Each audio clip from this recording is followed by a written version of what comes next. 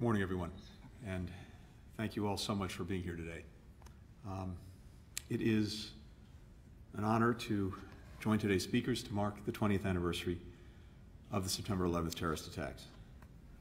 I have to uh, say to both the ambassador, to you, Chris, thank you for your powerfully evocative remarks. I think in, in, in different ways, both of you brought us back to that day, um, brought us back to what so many of us were feeling, and brought us back to a remarkable spirit that actually joined us and united us uh, in ways that uh, I think we can find inspiration in for every day going forward.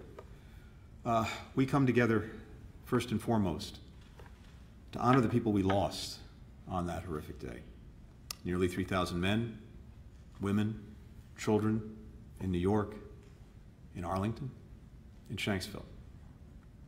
For their loved ones, the pain from the loss began on 9 11.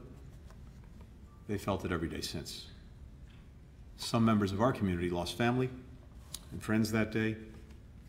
Our hearts go out to all of you. Every one of those losses sent ripples that radiated outward the stories of those who died were, were told around the world. Restaurant workers on breakfast shifts, kids flying to Disneyland, firefighters and police officers who, as we all know, ran into the building after the planes hit. People from more than 90 countries lost their lives that day. Every one of them someone's child, someone's parents, someone's sibling, someone's friend. Chris Gu's account is so vivid and painful. For many of us, even if we weren't in New York or Virginia that day, even if we were on the other side of the world, uh, it felt somehow deeply personal. And I think it still does. For those of you who are working at the State Department, uh, the memories are just as vivid. Some of you were in the building that day. You evacuated and saw the smoke rising from the Pentagon. For a while, people thought that there could be a car bomb nearby, and DS agents made sure that everyone got out. You showed up for work the next morning, as we heard, not yet fully knowing what had happened or what would be required of you in the days, weeks, months, and years ahead, but ready to do whatever your country asked of you around the world. We saw people come forward to show their extraordinary solidarity and empathy. They congregated outside our embassies, consulates, praying, singing, crying. They left handwritten notes, flowers, candles, drawings, mementos. Outside our embassy in Sydney, uh, the New South Wales Rural Fire Service left a helmet uh, that their firefighters had signed for American first responders. And it read, To all stations, come home safe. In Ethiopia, so many people left flowers at the base of the embassy's flagpole that that pile of flowers rose a third of the way up the flagpole.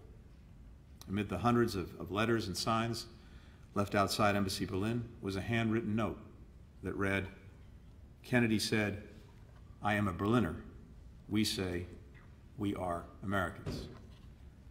As we saw that day, our allies and partners' commitment to us and ours to them is a sacred bond that goes much deeper than relationships between governments. It's a bond our peoples have built over many generations. 9 11 was, to understate one of the darkest days in our history, but out of it also came these demonstrations of profound humanity compassion, strength, and courage. Above all, it showed our remarkable resilience. It showed our capacity to defend the pluralism that has long been one of our country's greatest strengths, including by embracing our Muslim American brothers and sisters. It showed the risks that so many are willing to take to save the lives of complete strangers. So today we remember all of that and more. We've also come together today because maybe more than any other event in our lifetimes, 9 11 shaped the trajectory of our country and how we engage in the world. It motivated an entire generation to pursue lives of service. Some became journalists, lawyers, human rights defenders. Others volunteered for the military. Hundreds of thousands went on to serve in Afghanistan. 2,641 service members gave their lives in that conflict, including 13 men and women who were killed in a terrorist attack a few weeks ago as we brought that war to an end. More than 20,000 of those service members were injured, many with invisible wounds.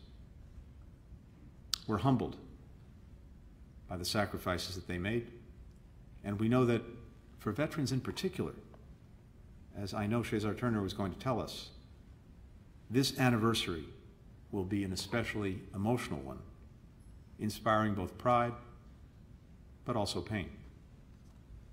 September 11th also inspired a generation of people to join this institution, the State Department.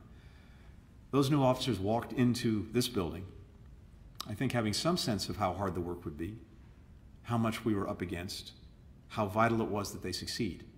But of course, a full appreciation for all of that came with time, came with experience, came with engagement. But from day one, they threw themselves into the challenges with total commitment. Looking around this department today, we can see how the attacks changed us and changed our diplomacy. Thousands of diplomats served in Afghanistan and Iraq and elsewhere in support of the war against Al Qaeda and other terrorist groups. Thousands more served in new bureaus and roles that didn't exist before the attacks, like counterterrorism, conflict, and stabilization.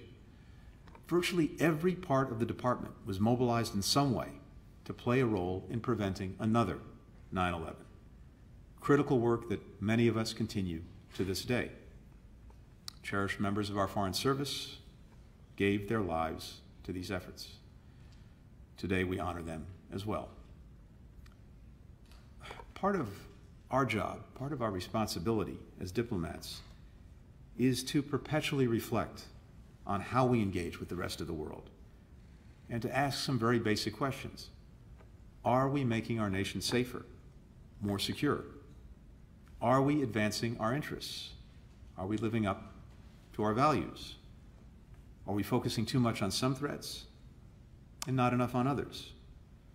Are we missing opportunities? We were asking those questions then. We have a responsibility to continue asking them now, to more effectively tackle the challenges that we face today, to try and see around the corner to the crises and challenges of tomorrow, to make sure we're doing all we can to deliver for our fellow citizens. Whether you were part of the team that was there when the, the attacks occurred, whether you joined because of those attacks, or whether you came here for some other reason altogether, what we all have in common is that deep down, we feel a calling to try to do right by our fellow Americans, to try to make their lives just a little bit more secure, a little bit more prosperous, a little healthier, with a little more opportunity. And we want to engage the world in a way that makes their lives and our lives and the world better. Wherever we serve, whatever the challenge or crisis, we've chosen diplomacy as our tool to make that world a little bit better. You have to be 20 years old to register for the Foreign Service Officer Test. So, what does that mean? It means that starting tomorrow, the first volunteers born after 9 11 will start the process of becoming Foreign Service officers. I can't wait to welcome them to this community.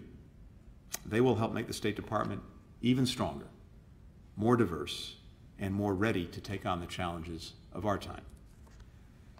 In hearing from Foreign Service officers and civil servants who were serving September 11th, one thing they often talk about is, is how, no matter how wrenching and terrifying those first moments and first days felt, they appreciated that they were in a place to do something about it. And it goes back to what Chris was saying. At first, I think so many of us had a feeling of, of helplessness.